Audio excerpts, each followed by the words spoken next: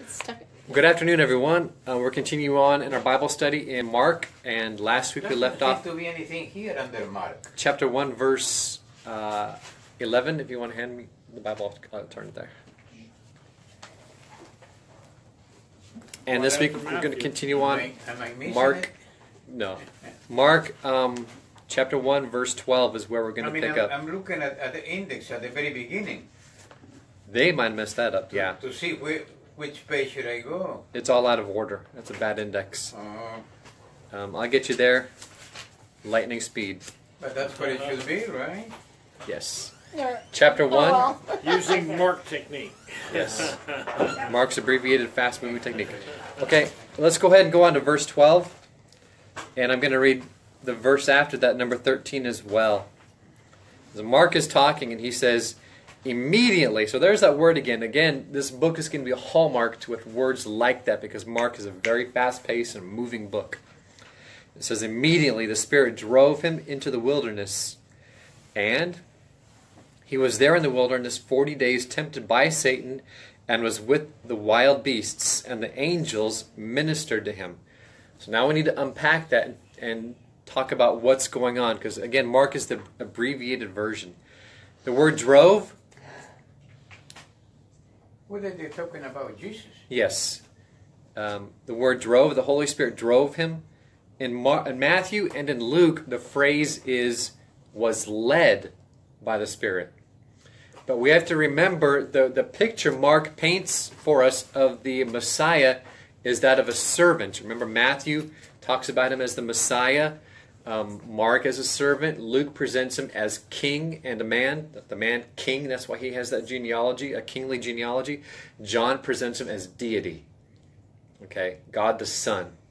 And so in Mark's rendition, when you have words like this, um, it, re- it, it reflects back on that servant nature of Christ. He came to serve, not to be served.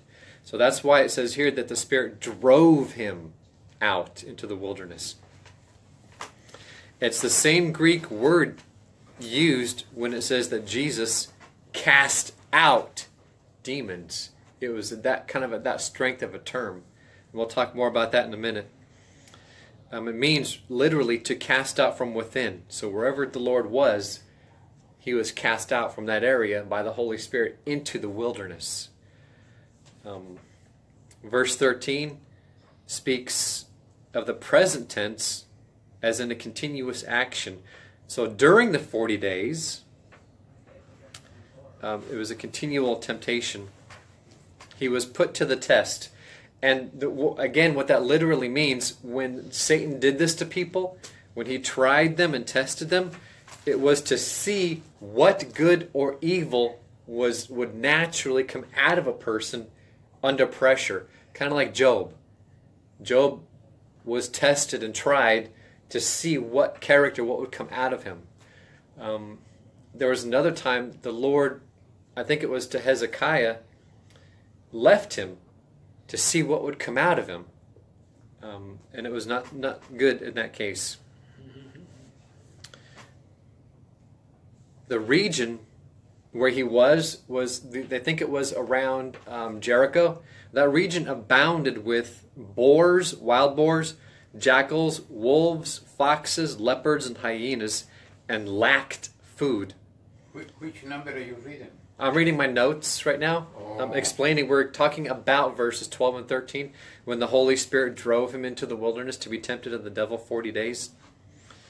Um, in my notes, in my notes, I wrote that Adam failed in a perfect environment, and I posed the question in my notes: Would the last Adam pass in this wild environment?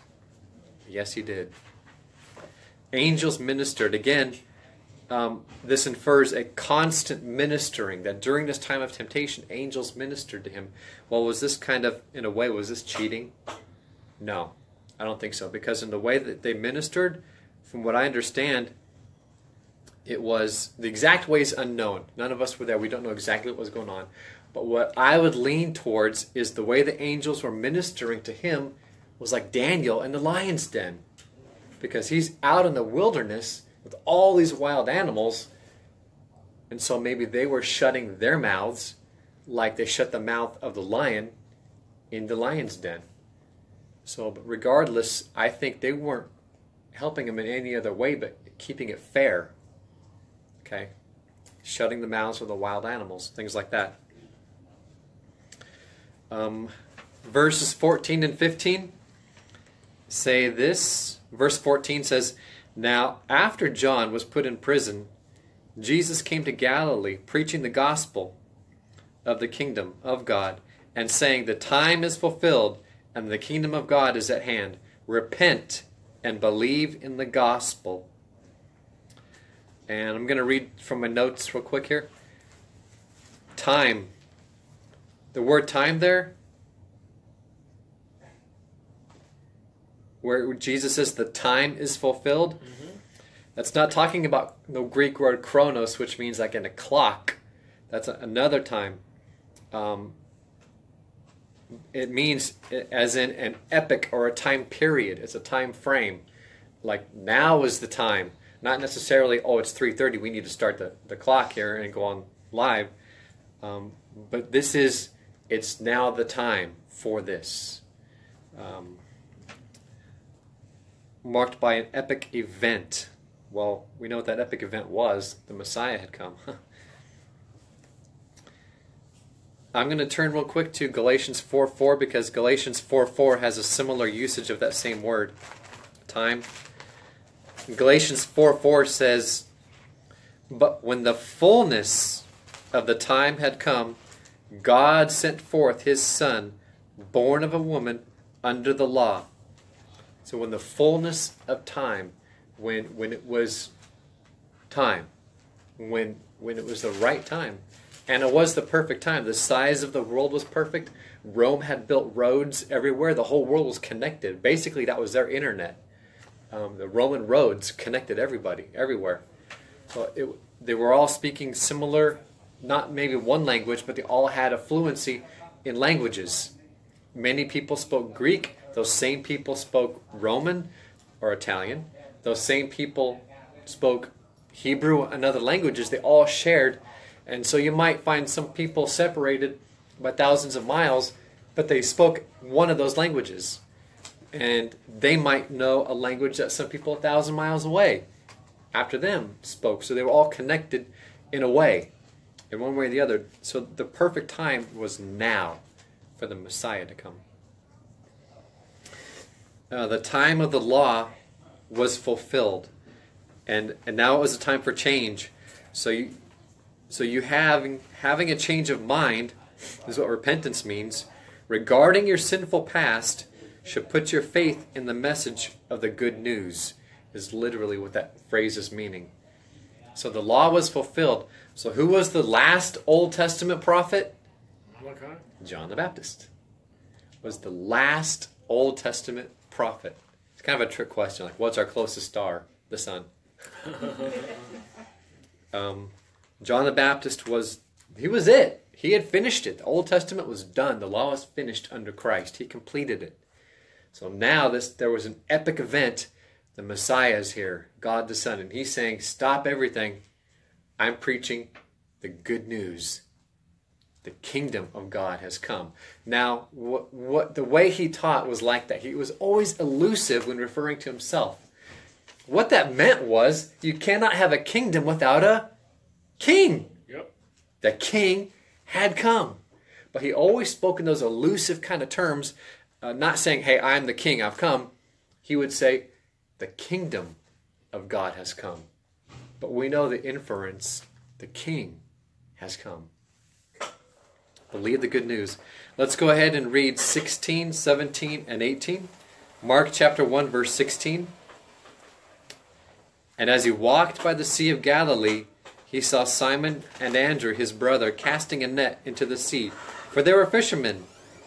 Then Jesus said to them, Follow me, and I will make you become fishers of men.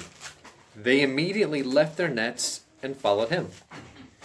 And I hope that you really caught that word, become, because that indicates a process. Nobody is born again and is instantly a full-on disciple disciple capable of discipling other Christians. It is a process. These guys spent 3 years with Jesus. and they still weren't ready. Disciple. Actually, what was Jesus doing? he was going disciple shopping. shopping for his disciples, picking them out. You two, Peter and Andrew, you two, James and John. Um, so where did he go disciple shopping? Did he go to Harvard? Princeton? Berkeley? Yale? No. Did he go to Forbes' list of the most successful people? No. Where did he go? He went to the seashore for common, average, everyday fishermen, common laborers. The kind you would see standing on the road as you drive by waiting to get picked up to do a job. Day laborers, common laborers is what Jesus took and entrusted to these 12 men the whole gospel. And then he left and put all, the, everything in their hands and left it. Intrigued by the offer, these disciples dropped everything and followed another common laborer, the carpenter, because they were intrigued by his invitation. They were intrigued by that promise of becoming a fisher of men. How strange. They knew the art of fishing, they were experts at it. But he said, Hey, follow me. Follow me, the simple, rugged carpenter, and I will teach you guys. I'll make you to become fishers of men. So it does indicate a process over time. And even after three years of being with him, they were still making mistakes, like arguing who would be the greatest, wanting to call down fire, chopping up people's ears, lacking of faith, etc. So they, they still, even after three years, had growing to do. The point you must spend time with the master if you want to be used as a servant. You must spend time with the master in order to be a good servant. And it takes a level of commitment to forsake all, to leave their income, to leave everything, and become what he wanted. This was, if you remember the four seed types, they were becoming seed type number four. They were presently, if you want, kind of caught up in number three, distracted with the cares of this world and the deceitfulness of riches and, and making an income and stuff like that.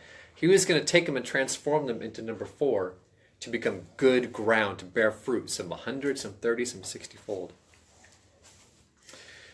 Um, verses 19 and 20, and I have a really, really short note, so we're going to skip, we're not going to skip anything, but we're going to move fast through them. Verses 19 and 20, he had gone a little further from there and saw James, the son of Zebedee, and John, his brother, who also were in the boat mending their nets. And immediately he called them, and they left their father Zebedee in the boat with the hired servants and went after them. So they had a good business, and they left their father, they left the business, they left the hired help, and left. The interesting thing about these two is um, the first two were called as fishers of men, fishermen. These two were called as what? Menders. Menders of nets. And it's kind of weird when you look at their lifestyle, the majority of, of what they did, the hallmark, if you will, is Peter and Andrew fished the people in. James and John mainly were menders of the church, fixers, fixer uppers of the church, repairers. You read the book of James, he set some stuff straight in there, very point blank.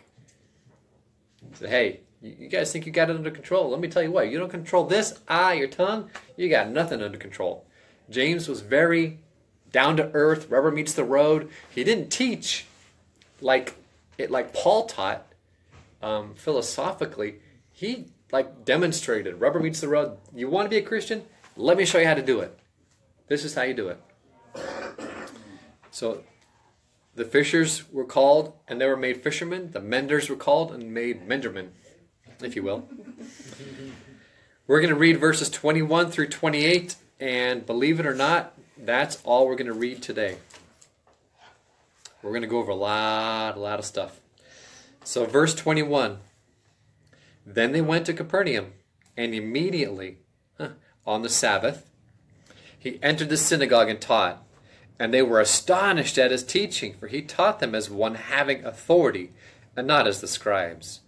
Now there was a man in their synagogue with an unclean spirit, and he cried out, saying, Let us alone. What have we to do with you, Jesus of Nazareth? Did you come to destroy us? I know who you are, the Holy One of God. But Jesus rebuked him, saying, Be quiet and come out of him. And when the unclean spirit had convulsed him and cried out with a loud voice, he came out of him. Then they were all amazed, so that they questioned among themselves, saying, What is this? What new doctrine is this? For with authority he commands even the unclean spirits, and they obey him. And immediately his fame spread throughout all the region of Galilee. So, like I said, immediately his fame spread um, because, like I said, in those days, their roads and word of mouth was their internet. It just, and it spread. So, backing up a little bit, let's start from the very beginning of that passage where it talked about the synagogue. In those days, not everybody could get to the temple every Sabbath. So, they set up little Sunday school type things, if you will, uh, throughout the region and called them synagogues. They were not the temple, but they were places where they could gather together and partake of uh, praise, prayer, reading of the scriptures, and rabbinical teaching. And often guests would come in, and if you were a competent guest, you were invited. If you had something to say, you could do a reading and speak on it. Um, but these things, both Jesus and Paul did. They both went into these synagogues and were invited and spoke and taught. The Greek for the word taught in this in this instance indicates that it was a lengthy discourse that the Lord gave. So and as you can imagine as he gave this lengthy discourse, they were all on the edge of their seats with pins and needles because he wasn't talking to them as their other teachers did. When the rabbis taught, they would say, Now let's talk about uh, the writing that Moses gave about divorce. Now, Rabbi so and so taught about this, and he said when you want to divorce somebody, all you have to do is just give him a writing of a divorcement. Even if she burns the toast, it really doesn't matter. You just say, I divorce you and get her out of the way, and you're good to go. However, this other Rabbi so and so said it was only for marital unfaithfulness can you divorce. But they would never say something like, I say to you. They would always refer to somebody else. When Jesus taught, he never said, Thus saith the Lord. He never said, Rabbi so and so said. When Jesus taught, he always said, Verily, verily, I say unto you. I say this. I'm teaching you. So that's why it was fresh. And they said, What's this with this new teaching? It wasn't that it was necessarily new in the sense of time, like brand new, like just born baby or something, but it was new in the sense that it was fresh. It was different. It was like, wow. They probably could have listened to him for hours and hours. Wow, look at this authority. Yeah, the way he was teaching. Because um, it was just astonishing. Verse 22 has that word astonished in it. And that means to strike with panic, or in the passive sense, they were struck with astonishment. They were just on the edge of their seat. So, in the sense used, the audience was filled with prolonged amazement. Okay? When he was teaching. And I want to read something directly from the study book I use. And this speaking of that speaking of the authority he used, the word means literally to be out and was used of that authority which a person has which is delegated to him from someone else. The person delegating the authority is in a sense out of himself and acting in the person to whom he was to whom he had delegated the authority. So thus the word means delegated authority. The word means also the power of authority and of right. So Jesus wasn't speaking by somebody else's delegated authority. The authority was inside himself, intrinsically, naturally. And so that's why when he spoke with authority, it was wow. Um, it was used in a legal practice of delegating authority. Here it is used of our Lord as having the authority in himself, not derived from others. The rabbis quoted from other rabbis and felt themselves to be expounders of tradition. And felt themselves, yeah, expounders of tradition. The Messiah struck a new note here, and the people were quick to recognize it. They saw that here was a teacher who spoke on his own authority. He did not rely on or use anybody else's authority when he spoke. Moving on to the man possessed. There's a word there that this man came into their synagogue, indicating he normally wasn't there. Um, it just wasn't his place to be normally. But the interesting thing was, when you look at this picture and you step back, this demon possessed man sat there the entire time Jesus taught. Never interrupted, never did anything. But now all of a sudden, there's a boldness come about, and, and this, this demon is going to speak up. So he, this man appears to be a visitor to the synagogue, to their synagogue, seemed to hold his peace through Jesus' teaching. Also, the level of possession is so severe that if you, if when you go into the way it was described, actually in the Greek, it was not the demon, not the, the man was demon possessed, but that the demon was possessed of the man. The demon was that in control over him that the man was like almost secondary inside the demon. Is how powerful he was.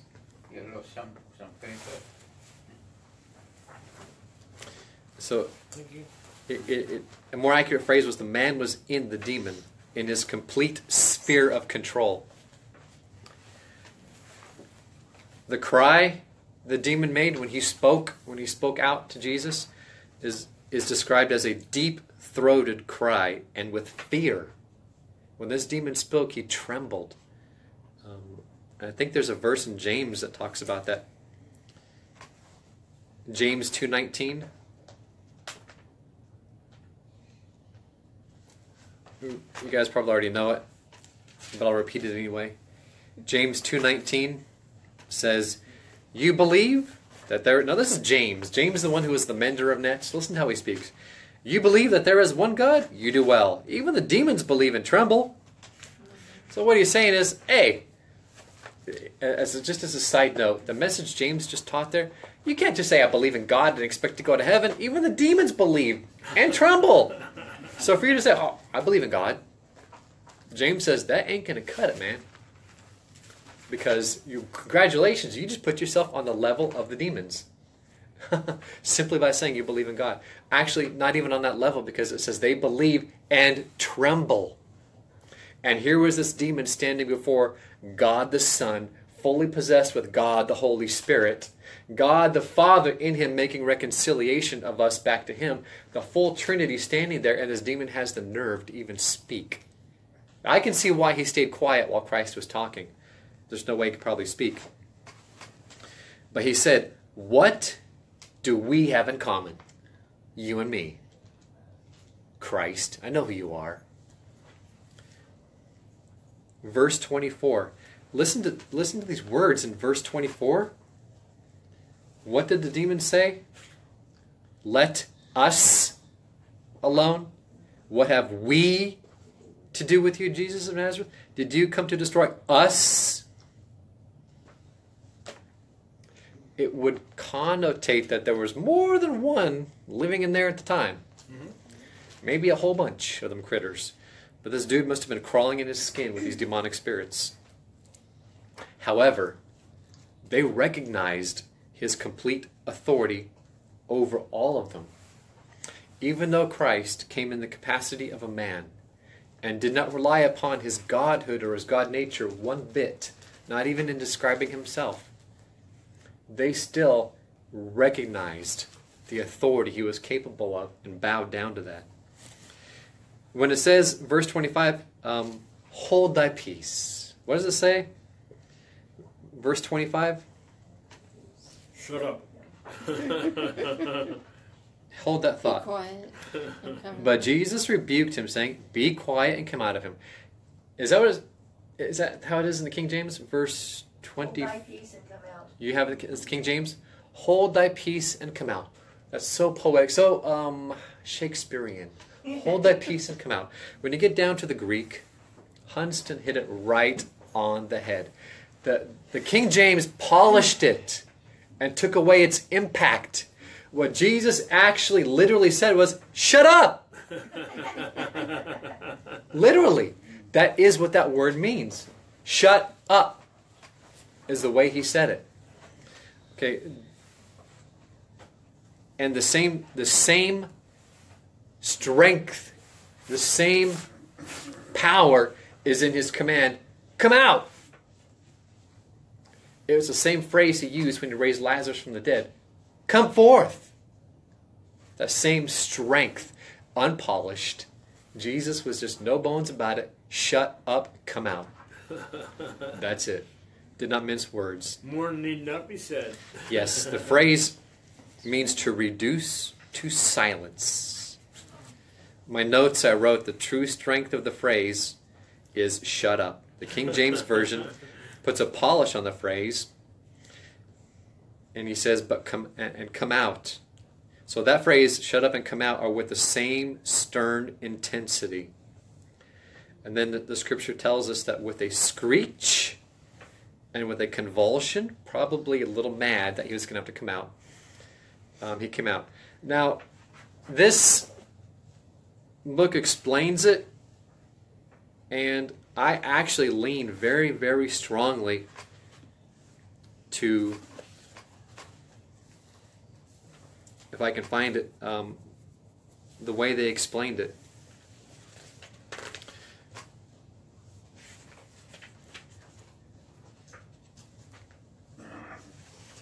That these demons were lacking a physical body. Um, this is what the book said, and I actually agree with it. The devil is a fallen angel. Demons constitute a different category of beings. From the fact that the demons have no rest unless they are living in some physical body, it seems clear that at one time they did have physical bodies and that they were deprived of them by some judgment of God. Some including the writer, and I agree with the writer, think that they are the disembodied beings of a pre Adamic race who inhabited the first earth, and that they followed their leader Lucifer into sin and were disembodied and deprived of residence upon the earth by the cataclysm of Genesis chapter 1 verse 2. The earth became without form and void, and darkness was over the face of the deep which is coincident with the fall of Lucifer in Isaiah. These are the principalities and powers spoken of in Ephesians and comprise the kingdom of Satan in the atmosphere on the earth. I agree with that, that these demonic spirits, they didn't want to leave the man because when lacking a body, it's like they're agitated. They have ants crawling all over them. And then when they possess somebody or something, like the pigs, um, they were they were more content. So his command to come out was like, oh man, great, not again. So they had to come out, and with a screech and a convulsion, probably out of anger, they came out. And then after that, these these people, these scribes and people in the synagogue, reasoned among themselves.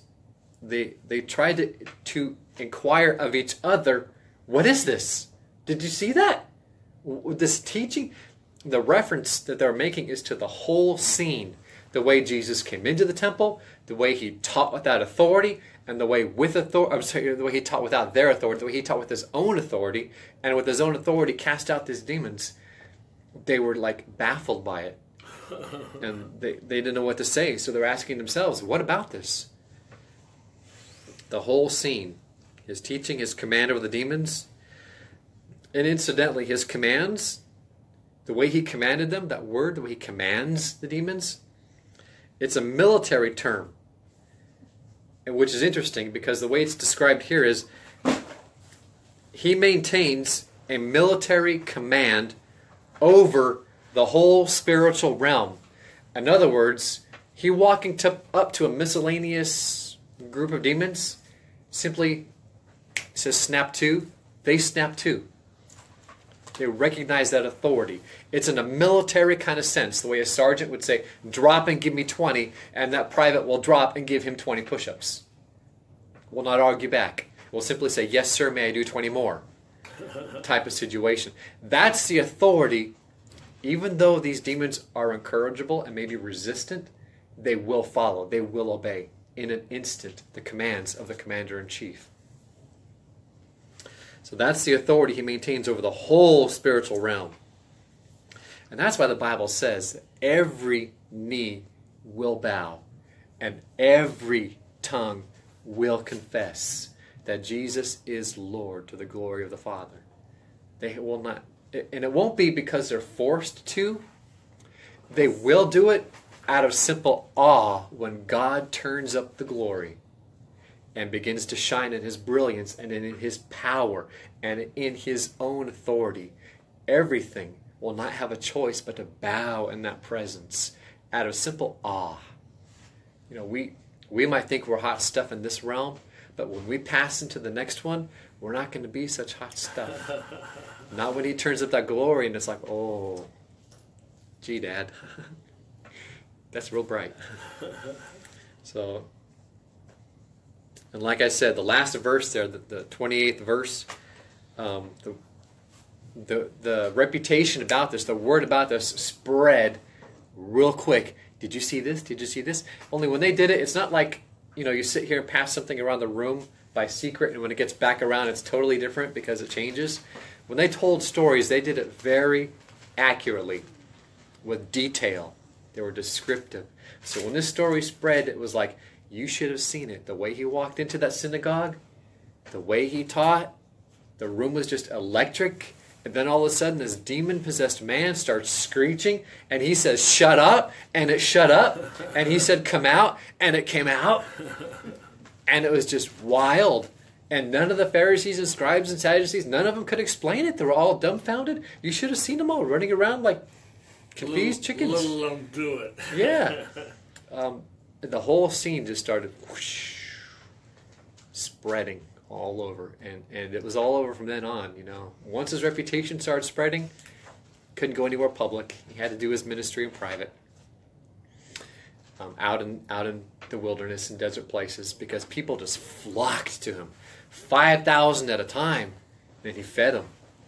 They were just herd to him. But obviously, was something different about him. Oh yeah. I mean, he goes by and these these people say, "Follow me," and they leave whatever they are doing and follow him. Yeah, it, there was, but you, you, it was more on a spiritual level and not on a physical level. You couldn't tell it by the way he looked, because he appeared as a normal, average human being. He appeared so average and normal that when in the Garden of Gethsemane they came to arrest him, they had to send somebody out to identify him. They couldn't tell him apart. Hmm. So Judas went up there and kissed him and Kissed identified him. This is the one. Otherwise, he was just a regular person. Nothing. That Isaiah said he had nothing desirable about him that we would chase after him, or you know, like, oh wow, he's like nine feet tall, dressed in solid white and shiny, and look at that big old sword he has. There's nothing, nothing like that about Christ. In At fact. I would guess, right? I would guess maybe just the opposite. He might have been a little shorter than everybody else. Maybe kind of, you know, so so unattractive that that also set off the the Pharisees and the, and the leaders. Like, look at him, and they're all flocking to him. And, and do they really think he is the Messiah? Really? We got to get rid of this one. We, going to get rid of him quick. So that concludes our lesson today. Um, thank you for joining us. We'll be back again next week at the same time, and we'll see you then. Bye.